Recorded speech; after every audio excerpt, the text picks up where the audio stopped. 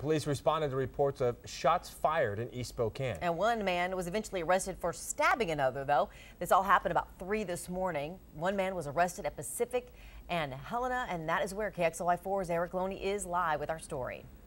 Yeah, good morning. Spokane police are still trying to piece together exactly what happened here around 3 o'clock this morning. They were called here to First and Pacific for a report of a stabbing and also of shots fired. Now, when they arrived, they had a victim here who said he had been uh, attacked by two other men.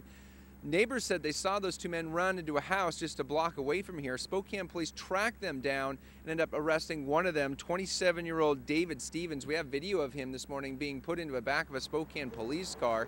He has been charged with first degree assault and also with malicious, malicious mischief, domestic violence.